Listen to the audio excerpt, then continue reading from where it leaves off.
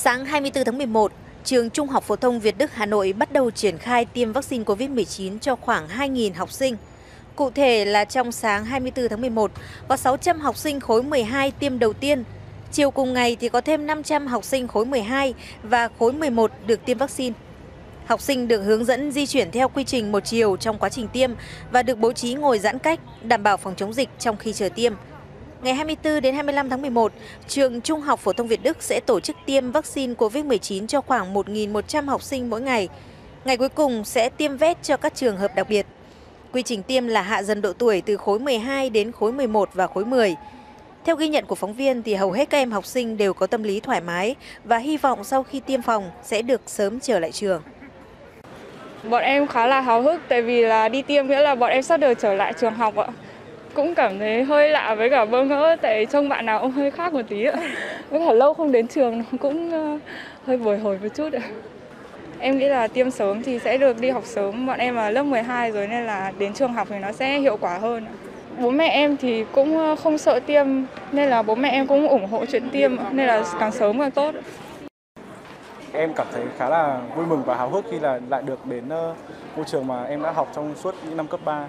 Sau khi tiêm thì em cũng cảm thấy một phần là thấy mình bản thân kiểu khỏe mạnh hơn và kiểu an toàn hơn khi mà có thể uh, uh, khó để lây nhiễm bệnh Covid-19 ạ.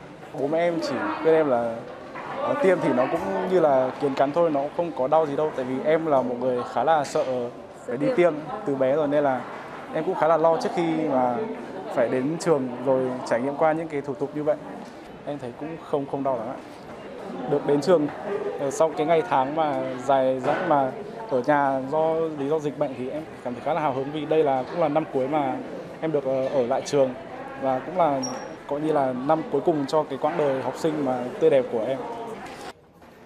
Không chỉ học sinh, đa phần phụ huynh đưa con đi tiêm cũng khá yên tâm với việc triển khai tiêm cho con trong độ tuổi.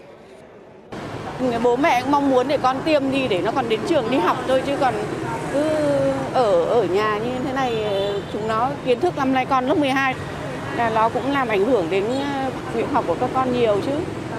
Học ở nhà không yên tâm này. hôm nay là các con được tiêm là bố mẹ cũng yên tâm đi rồi. Mình làm như nào thì bây giờ đến các con thì mình cũng làm cho các con như thế. Là như trước khi đi tiêm là hôm qua chị pha cho con mấy quả cam con uống sáng ra đấy cho con ăn no, đưa con đến trường thế thôi.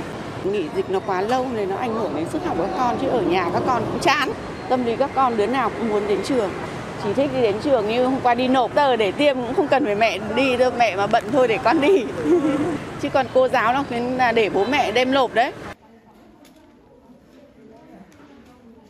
Ra là cũng uh, uh, thấy là cần thiết là phải đi tiêm để để cho mà các con sớm trở lại uh, trường. Với cả nghe nói là cái cái vaccine Pfizer ấy tốt với cả phù hợp cho các cháu học sinh. Mình thì mình cũng đã tiêm đủ hai mũi rồi nhưng mà là mình tiêm Astra. Không, mình không phân vân và mình ờ, đồng ý luôn. Mình mình cũng có được hướng dẫn và các con cũng ờ, được cập nhật rất là nhiều từ trên mạng internet rồi là qua các cái nhóm lớp các con cũng nắm được. Được phân bổ 304.000 liều vaccine Pfizer trong đợt này. Hà Nội dự kiến từ ngày 23 tháng 1 tiêm mũi 1 cho trẻ từ 15 đến 17 tuổi đang học tập, sinh sống trên địa bàn thành phố theo lộ trình hạ dần độ tuổi. Trước đó thì trong ngày đầu tiên 23 tháng 11, triển khai tiêm vaccine COVID-19 cho trẻ từ 15 đến 17 tuổi, Hà Nội đã thực hiện tiêm trên 33.600 mũi vaccine Pfizer. Theo kế hoạch thì Hà Nội sẽ triển khai tiêm vaccine cho hơn 300.000 học sinh từ 15 đến 17 tuổi tại 286 trường trung học phổ thông trường liên cấp, trường dạy nghề và giáo dục thường xuyên trên địa bàn. Đợt tiêm này diễn ra trong 2 ngày 23 và 24 tháng 11, tiêm vét vào 25 tháng 11.